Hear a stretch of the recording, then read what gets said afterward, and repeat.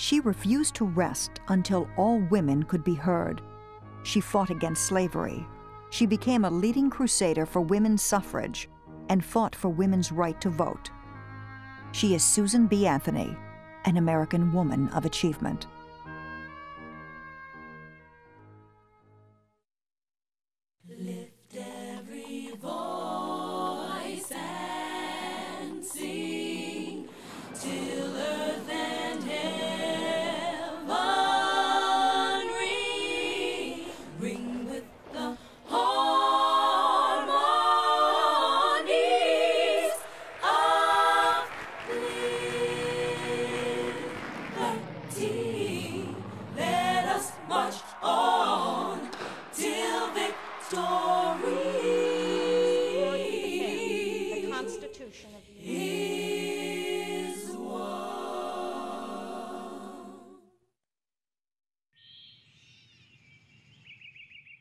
The date was November 18, 1872. The place, Rochester, New York. At the home of the well known defender of women's rights, Susan B. Anthony, there came a knock on the front door that had been expected for two weeks. This is the room where Susan B. Anthony was arrested for voting. In 1872, she voted for the President of the United States, even though it was against the law. She and her three sisters walked up to Main Street to the barber shop, which was the polling place, and voted. 13 days later, the U.S. Marshal came to the front door, and she had him come right into her front parlor, which was a very formal room. Now, he came in, but was very embarrassed because Susan B. Anthony was a very well-known person, and he had to arrest her. So very shyly, he said, well, Miss Anthony, um, you're under arrest, and at your convenience, please go downtown. The arresting officer, E.J. Keeney, was not in his element. Hoodlums and gangsters were his usual targets. But now he was forced to serve a warrant on a 52 year old woman with a national reputation. And what crime had she committed? In an age when women had no vote and few rights, Susan B. Anthony forced the issue by her act of civil disobedience. Susan B. Anthony would have no part of that. You can handcuff me and take me downtown right now if you think that I'm a common criminal, and you should treat me as such. And uh, her crime was basically that she voted, and she was a woman, and it was against the law to vote if you were a woman. Susan B. Anthony had a clear motive for voting illegally, and she had waited for the authorities to arrest her so she could make her point to the nation. As one of the founders of the movement to guarantee the vote for American women, Anthony had already devoted over 20 years to the mission. She was adamant in demanding equal rights for men and women, and if it meant facing a trial and a prison sentence, she would not be dissuaded. He didn't handcuff her, but he took her downtown. And they didn't have police cars in those days, so they took the streetcar. And uh, when she got on and was asked for her five cent fare, she said, well, you can ask this gentleman for my fare. I'm traveling at the expense of the U.S. government. And she made sure that everyone on the streetcar knew that she was arrested for voting even though she was a citizen of the United States. Susan B. Anthony believed fervently that the United States Constitution granted women the right to vote, and she was willing to go to any extreme to prove it. The 14th Amendment to the Constitution, ratified just four years before, stated that all persons born or naturalized in the United States are citizens of the United States. The law was aimed at giving the vote to black men as well as white. But Anthony and her followers believed it also opened the door for American women. Susan B. Anthony, in fact, as part of this never giving up, never despairing, um, I think she was inspired by a higher moral law as she was for abolition, so she was for women's rights, uh, that there was some higher rule than what society accepted, what the government and politicians at that time um, accepted, and that this was higher than, literally, than the law. So in uh, 1872, she cast a vote. She marched in uh, to Rochester, New York, and put her ballot in the ballot box, even though women had no right to vote at this time, and she was arrested. Susan B. Anthony was indicted for her actions at the polls, and when the election commissioner asked her if she had any doubt of her right to vote, Anthony quickly said, Not a particle. Her trial was delayed for six months, and free on bail, Anthony set off on a series of well attended lectures to tell the tale of her arrest and educate her audiences about the 14th and 15th Amendments to the Constitution. The rights uh, that we have now are entirely due to the people who fought for them. Things don't happen automatically, they happen because we, we make them happen. So the idea that women of all races and men of color are counted as citizens and human beings is entirely due to the abolitionist movement against slavery and the uh, suffragist movement uh, for the rights of women of all races. So, you know, before that, it's really important to remember that it wasn't that long ago that women of all races and men of color were objects. They were owned like tables and chairs. They were not people, they were not citizens, they were not voters. It took 150 years of very deep struggle to, and bringing the country to a halt and a civil war and everything else, to gain a legal identity as human beings for, for women of all races and men of color. During the course of her lifetime, she is involved in the abolitionist movement, she's involved in the temperance movement, and she um, is obviously playing a very pioneering role in the women's suffrage movement. And what's interesting about this is what I think Susan, Susan B. Anthony does is really establish the distinct legitimacy of the women's movement. She clearly is one of the heroines that spoke uh, for, uh, for many women in ways that were uh, incredibly convincing. And she spoke uh, for women across classes, which I think was very, uh, very important um, in that era. Susan B. Anthony's trial for voting in the 1872 election was, according to Anthony and her supporters, a mockery of justice. The judge had strong anti feminist opinions and would not even let the jury vote on Anthony's guilt or innocence. The judge simply directed the jury to enter a guilty verdict. When Susan B. Anthony objected, he fined her $100. Anthony's retort to him was, I shall never pay a dollar of your unjust penalty. I shall persistently continue to urge all women to the practical recognition of the old revolutionary maxim that resistance to tyranny is obedience to God. God and religion were major factors in Susan B. Anthony's development into one of America's most esteemed women and a leader in the causes of the abolition of slavery, women's suffrage, and the temperance movement. Susan B. Anthony was born in 1820 in Adams, Massachusetts. She was the second oldest of seven children, and she was raised as a Quaker. Susan's father, Daniel Anthony, was an ardent defender of freedoms. He encouraged Susan and her siblings to acquire first rate educations, had them working in his cotton mills alongside other laborers, and was tolerant of social disobedience in the cause of human rights. And his Quaker religion fostered an even greater tolerance toward women. In the Quaker meeting house, men and women spoke equally, so Susan B. Anthony thought that's the way it was everywhere. Moreover, Quaker women were able to vote on church related issues so anyone raised in that faith found it natural that men and women held views on issues that affected their lives. Religion uh, was a very important force in early American history, uh, especially in the early 19th century.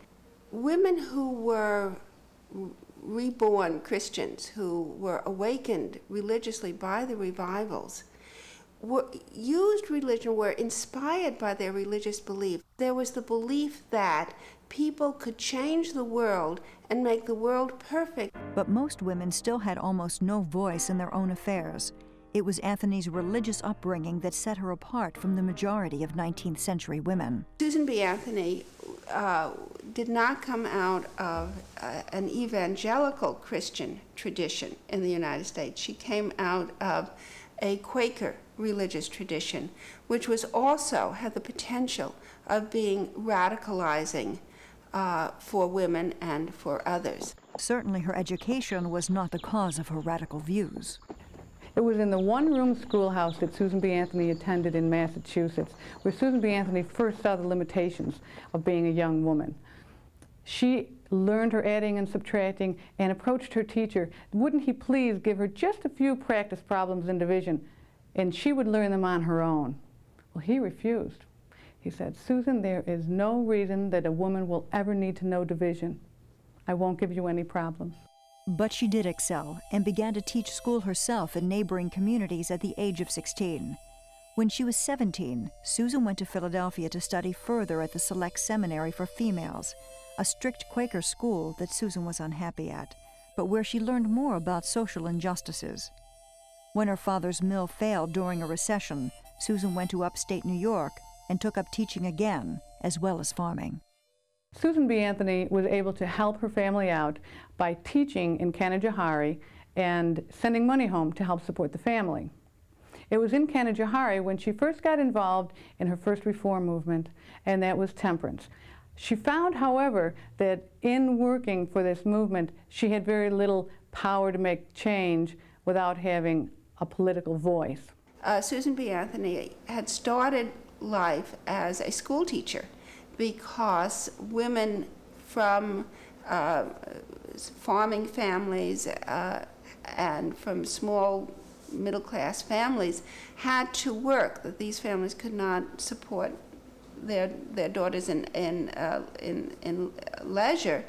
And she had worked as a teacher and become very concerned with the fact that women teachers made considerably less than men teachers. Susan B. Anthony took this very strongly and, in fact, quit the teaching profession because she was enraged at the discrimination against women and returned home, became active in temperance, and found again that as a temperance advocate, her advocacy rights were being curtailed because of her, uh, of her gender. Daniel Anthony also morally objected to the misuse of alcohol by men because he'd seen too many women abused by their drunken husbands. He preached abstinence, and Susan adopted his views. Susan B. Anthony became uh, converted to the temperance um, beliefs fairly early in her life, and I think even you know quite early. Susan B. Anthony went around speaking at temperance movements and urging people to give up the drinking of hard spirits, as they were called in the 19th century. And uh, she was really developed her speaking skills by going to temperance movements and speaking publicly. With money still very tight, Daniel Anthony moved his family to Rochester, New York in 1845 and took up farming. Susan taught for another three years at the prestigious Canajoharie Academy and then returned home. There, a new dimension was added to Susan's life the talk of slavery and its dire consequences for African Americans and for the country's future. Susan B. Anthony was introduced to the idea of reform by her family. In fact, it was at their farm home in Rochester, New York, where every Sunday there were anti-slavery meetings. And that's where she met reformers like Frederick Douglass, the great abolitionist, William Lloyd Garrison, Wendell Phillips, Amy Post, and uh, that was a part of the Underground Railroad movement. Now, her parents were very active in the anti-slavery movement and always stood for what they believed in. The Underground Railroad was an informal network of abolitionists who secretly helped guide fugitive slaves from the South to safety in the North and in Canada. Susan was enraged by the injustice shown to blacks in the South and began to preach against slavery's abuses. Now, at the age of 29 and still unmarried, Susan B. Anthony was becoming deeply involved in two of the three great issues of her time. Throughout the 1850s, Susan B. Anthony's life revolved around two of the most pressing social issues of the day abolition of slavery and abstinence from alcohol. During the decade that led to the Civil War, American voices became more heated. People took firm stands, and the fabric of the nation was beginning to unravel. Well, the abolitionist crusade was really sort of the great reform crusade of the early 19th century. And especially after the 1830s, when it sort of got this renewed vitality um, and energy from black abolitionists and also from white abolitionists like William Lloyd Garrison, who sort of brought this kind of evangelical zeal into the movement. And so, in that sense, the abolitionist movement really was permeated by a lot of religious enthusiasm, a lot of evangelical enthusiasm. And for women, the abolitionist movement was an especially important reform crusade. Um, it not only drew them into this kind of public arena and a, this very political discussion about slavery, but it also, there were also very significant connections that were being made between abolition, abolitionist concerns and the abolitionist movement and the concerns that women had uh, for their own rights. And then I think for a number of women, they also began to make a connection between the way oppression was meted out to the slaves and the way women also suffered in 19th century American society. Ironically, it was Anthony's involvement in the temperance movement that initially opened her eyes to the real powerlessness of women and led her to devote most of her energies and her life to women's suffrage.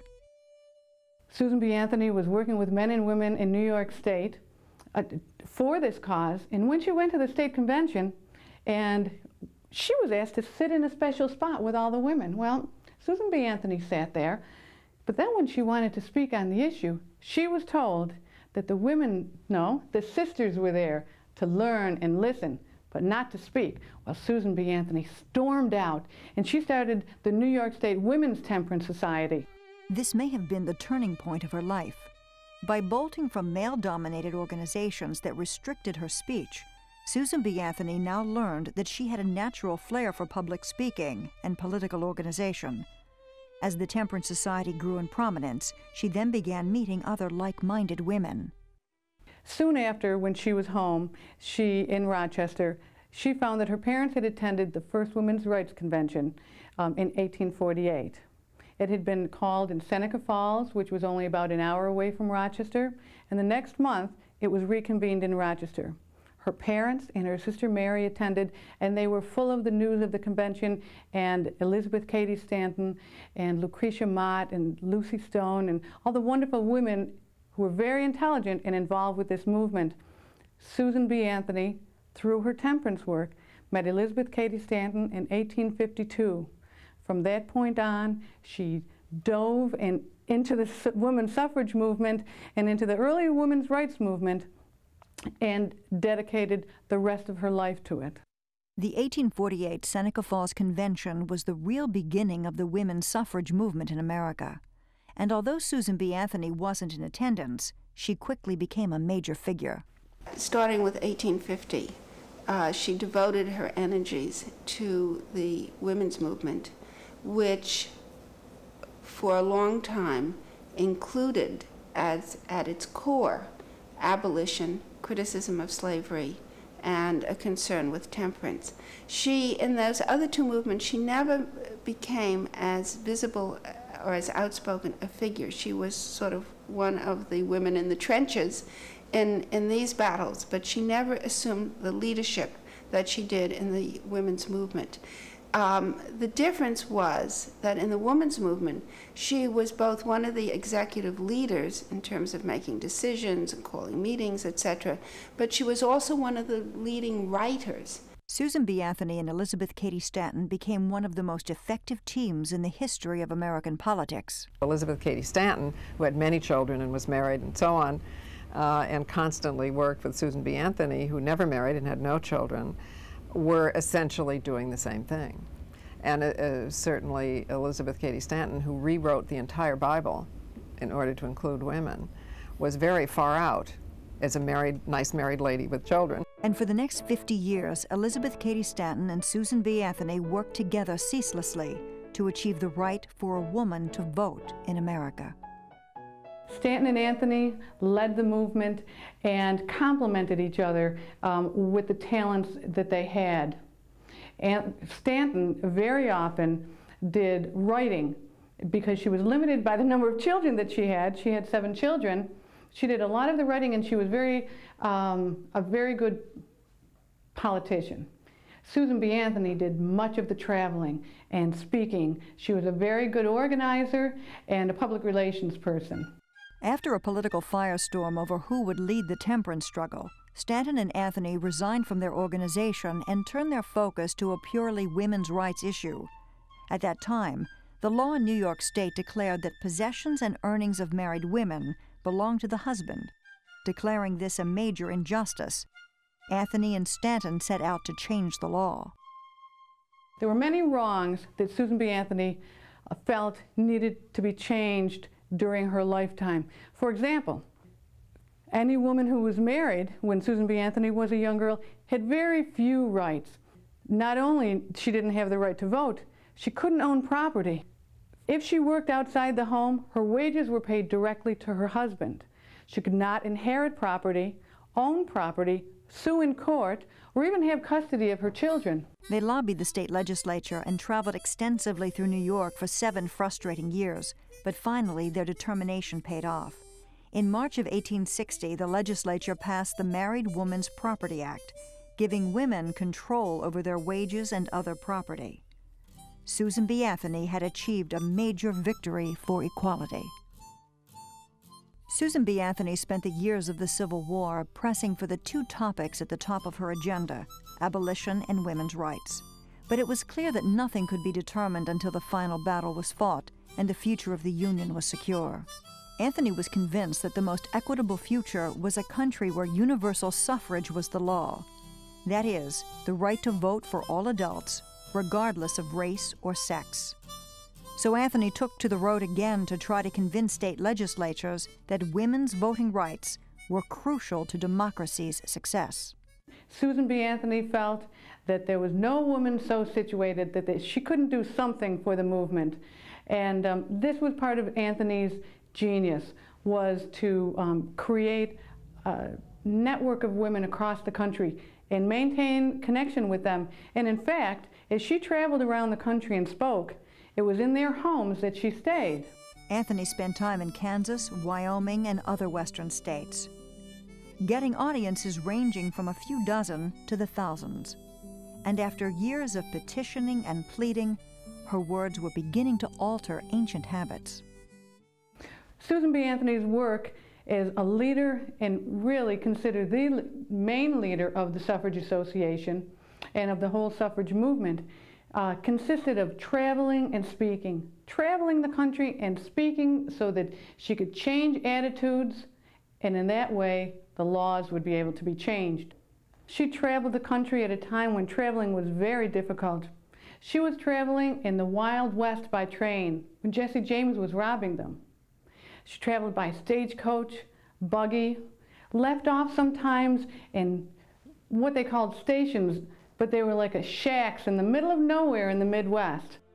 By 1868, Anthony and Stanton had control over the influential newspaper The Revolution, which during its two year life was the most vocal of the suffrage publications, calling for the reevaluation of the 14th and 15th Amendments because they did not specifically grant the vote to women, and calling for equal pay for women in the workforce. At the same time, she and Elizabeth Cady Stanton were forming the National Woman Suffrage Association, consisting of women from around the country. Its goal was the passage of a constitutional amendment granting women the right to vote. She was politically convinced um, of the rightness of her cause, and she felt that if she didn't do this, no one would do it, and the cause would die. The 1870s brought about a division in the nation's women's groups because one faction, led by Lucy Stone, who backed the 15th Amendment, wanted to go slowly towards suffrage, while Anthony and Stanton chose a more radical course. But while internal bickering continued, the real goal was not lost in the skirmishes. When Wyoming became the first territory to grant women the right to vote, supporters celebrated Anthony's victory on her 50th birthday. Susan B. Anthony never stopped fighting, even after years of losing battle after battle. Woman suffrage had been defeated by Congress, by the Supreme Court, by both major political parties, and by the male electorate. But nothing could defeat Susan B. Anthony. At this point, she realized that only the passage of a constitutional amendment specifically granting women the right to vote, would achieve her goals. She vowed to fight on. After her arrest in Rochester for illegally voting in November 1872, Anthony stayed on the grueling lecture circuit to keep the issue in front of the public, and she began writing with Stanton the first volume of the History of Woman Suffrage, which would be published to great acclaim in 1881. Susan B. Anthony appeared in front of every Congress from 1869 until 1906, the year she died. Susan B. Anthony was considered the leader of the movement so much that the amendment giving women the right to vote was named for her. In the last years of her life, Susan B. Anthony continued her hectic schedule, never wavering from her goal. She was now nationally famous, and her speeches drew large crowds of followers. In 1892, she was elected president of the new National American Woman Suffrage Association and kept the job until her 80th birthday in 1900. Susan B. Anthony died peacefully in her home in Rochester in 1906. And in 1920, 37 states ratified the 19th Amendment to the United States Constitution, finally giving women the right to vote. And in November of that year, women flocked to the ballots exactly 100 years after her birth, Susan B. Anthony's dream had been realized. Even though she never lived to see the law passed in 1920, we believe that she would have had great celebration. In fact, in her last public speech in Baltimore, just a month before she died, she urged the young suffragists to continue on with the fight and inspired them with her final public words, failure is impossible. Susan B. Anthony, an American woman of achievement.